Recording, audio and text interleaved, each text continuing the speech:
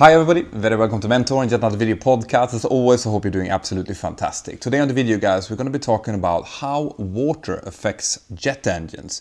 Do they have any effect at all and can you actually use water to increase the thrust of a jet engine? Stay tuned. Wind 31016, third one right, third on right. Third line, 3-1 right. Delta 260. Yes, sir, dude.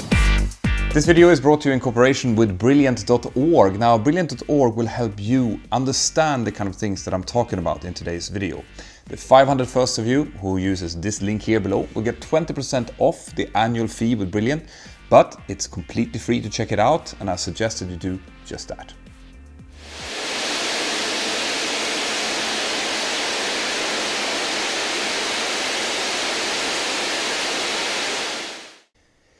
Right guys, so jet engines and water is a fascinating thing to talk about. Uh, the reason I'm talking about it at all is because I received a question from one of you guys who sent in how does water actually affect jet engines? Uh, is it dangerous to fly an aircraft when it's raining outside and in that case why? Um, so I love to answer questions that comes in from you guys. So continue to send in your comments, your suggestions, your thumbs up. It really, really helps the channel. But to get to the point, um, water, specifically rain, doesn't really affect jet engines to any bigger extent. Now, water on the runways is a different thing. So when it's raining outside, the uh, runways and the taxiways become wet. That decreases the braking coefficient, the friction of the runway. And since we need to be able to both take off on the available runway and stop in case we would have an engine failure um, at or close to V1, well then the braking coefficient is really important. So when the runway is wet, we have we need more thrust to take off than on a dry runway. So yes, to a certain extent, water does have an effect there. But when it comes to rain itself, the engine manufacturers are primarily concerned with uh, something called a flame out. Now a flame out of a jet engine is when the engine, you know, has a burn chamber. I'm going to go through how a jet engine works in just a second. But that's when the flame inside of the burn chamber flames out without any real anything wrong with the engine. So the engine is mechanically working perfectly, but for one reason or another, the engine flames out okay? And this is something that the engine manufacturers pays a lot of attention to when they make a new engine. Um, so when a new engine is being constructed, part of the certification, the testing of that engine, is for them to actually stand with big water hoses, as in fire hoses, and spray that straight into the jet engine to make sure that it's not affected by that okay? And that is going to be far, far more water than will ever be injected through rain, even if it's very heavy rain, okay? Now, the way the jet engine works is that on modern jet engines, the very first part that you'll see is the big fan, okay? The big fan works kind of like a shield when it comes to rain and hail and things like that. It means that the biggest droplets will hit the fan and because of centrifugal forces, when the engine, sorry, the fan is spinning quickly, the uh, water will then go out towards the side of the fan and will follow the bypass duct the bypass air out and past the core of the engine, okay? Now some of these droplets, they will go into the engine and the first thing that they will come across there is the different compressor stages. These are basically like small fans inside of the engine that compresses the air down until it has the correct temperature and pressure to be entered into the burn chambers of the engine. The, the way that it works, if you know your physics, is that as air, as, as air is being compressed, the temperature will rise. So the water droplets that goes into the compressor stages will be turned into water vapor very, very quickly. And the water vapor will be so small part of the overall um, air volume that it doesn't affect the, uh, the, the burn chambers at all. You have to understand that the amount of air that's being sucked into a jet engine at every, every given second is about the volume of a normal house. So a jet engine, if I would put that into the wall here and it would be on normal thrust, it will suck all of the air out of the entire house in one second.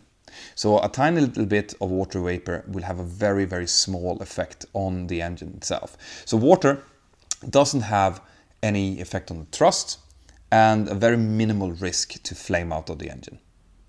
Now, after the burn chambers we'll becoming something called a uh, turbine.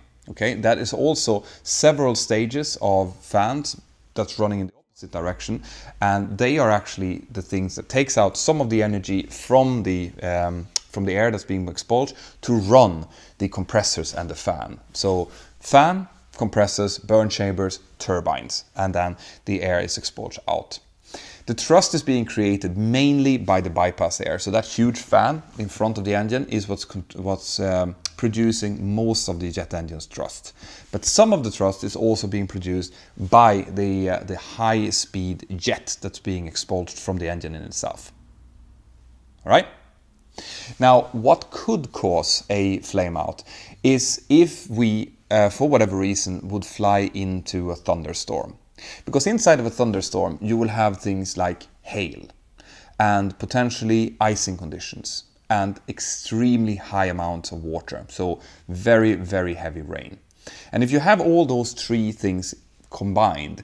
You might have hail that will be damaging the, uh, the fan and might be being sucked in and damage some of the compressor blades. That might cause a difference in, in, in airflow inside of the engine, might cause the engine to stall and it might let through more water than it's designed to take and that might um, cause a flame out.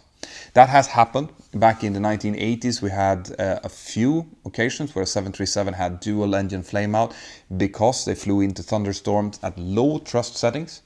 Because the thrust setting was low, there was now less speed, there was less um, air flowing through, and it was also a lower temperature inside of the, uh, the burn chamber. And that, together with all of the things that I've just discussed, caused the flame out in itself. Now the engines are constructed to relight. If they would have a flame out, we have two igniters in each engine. They work kind of like the igniters in, in your car, but much, much stronger. And uh, if you've seen cockpit videos, you'd have seen that anytime that we go into icing condition of any sort, the first thing we do is we put the engine start switches in the cockpit to continuous. Okay? Those start switches are actually the igniters. So when we put them to continuous, that ignites one of the igniters in each engine and it goes continuously. That's to help in case there would be uh, water, too much water, whatever being ingested, that helps the burn process. When the start switches are off, there's actually no igniters on, the, the, the flame in itself keeps feeding the flame if we would be in really bad conditions, very, very bad turbulence, very, very bad um, precipitation, for example, or we do get into a hailstorm, uh, then, or even if we would have dual engine failure, then we put the engine start switch to flight. And what that does is that it ignites both igniters inside of each engine. Okay, with me so far? Cool. So flying into thunderstorms, is something that we really, really want to avoid. Now, I've mentioned this in many of my previous videos as well. Uh, this is why we have weather radars, so that we constantly monitoring, make sure that there's no thunderstorms or bad weather in front of us. We also plan for this on the planning stage before the flight to make sure to avoid them. And we have very specific rules as to how close to a thunderstorm that we can get. And that is because of things like icing, hail, and enormous amount of water being ingested. Okay, cool. Right, so I've mentioned the beginning of the video, what about using water to actually increase the thrust? Has that ever been done? That does happen in cars, for example. And the answer to that is yes. Uh, in modern jet engines, we do not do that. But in the older type of low bypass ratio engines and turbojet engines, um, the fact was that they weren't really effective. They weren't really strong. And during the takeoff, for example, they needed an extra push in order to produce the amount of thrust needed to get the aircraft off the ground. So the older jet engines, for example, the um, the jet engines that were fitted onto the 737-200, they had something called a water injection system. And what that was, was that is um, a tank of water that was there only to be able to inject water directly into the burn chambers or into the compressor stage just prior to the burn chambers in a controlled way. And what that did was that it added to the overall um, amount, or the overall volume of uh, mass that was being thrown out by the jet engine. All right, and if you know your um, your physics, you know that every action has an equal and opposite reaction. This is how reaction engines works. This is how jet engines works. So by adding water vapor, a lot of water vapor and mass, it meant that they got more thrust, but only for a limited time. And also a secondary effect, which was almost equally important, was that by doing this, just enough, not enough to actually quench the flame, but enough to cool the flame down, they could lower the exhaust gas temperature.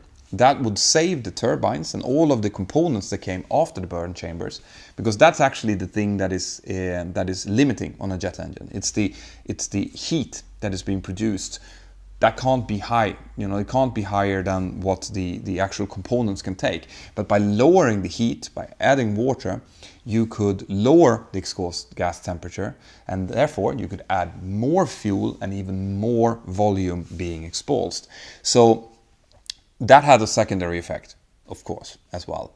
And that was when you throw water into, uh, into a fire, that would cool down the fire. And that happens exactly the same in a jet engine. So the, um, the actual burn chambers would burn at lower temperature and that would mean a less effective um, burn which meant that the when this was in use, when you when you saw an aircraft taking off with a water injection in force, they would leave these huge black plumes of smoke with unburned fuel inside of them. So not very environmentally friendly, but it did do the job. It did increase the thrust that you could take out of the engine. So yes, water injection systems have been used, but they're not being used in, uh, in modern jet engines because we have the fans that produces much more thrust and it would be extremely inefficient and very env environmentally unfriendly to use the water injection system.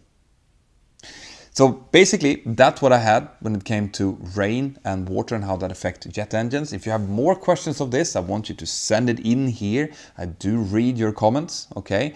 I want you to send a like if you like the video and subscribe and hit the notification bell. Because if you don't, you might not know when I'm, you know, for example, uh, doing a live stream or when I put out a, uh, video, um, a bonus video for you to follow. I also want to send a huge thank you to the sponsor of this video, which is brilliant.org. Now, if you, like me, were struggling with maths and physics in school and didn't think it was interesting at all, well then Brilliant is a brilliant tool for you guys to use, okay? They will make it fun and interesting to, um, to learn maths. They will give you different sorts of uh, problems to solve. They will help you to solve them if you can't, and they will constantly bring you higher in your knowledge level. This is why I'm so happy to have Brilliant as a sponsor to my videos because I know that what they do will help you achieve your goals. So check out this link. The 501st of you who does so will get 20% off the annual fee. But once again, it's free to check them out. Now, guys, if you're interested in, you know, generally seeing how we deal with different problems.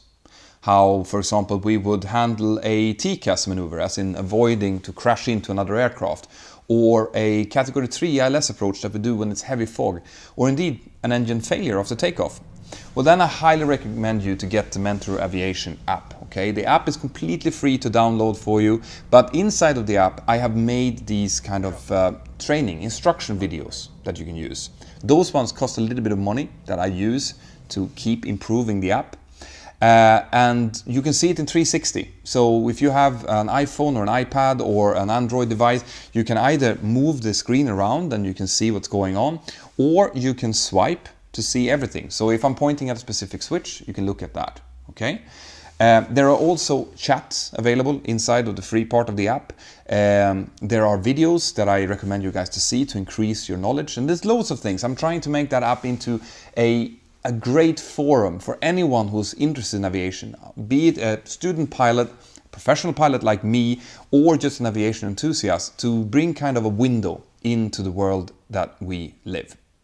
So get the Mentour Aviation app, it's completely free to download. I have the links to both Android and iOS here in the description of the video. Have an absolutely fantastic day wherever you are, and I'll see you next time. Bye bye. Parti Molly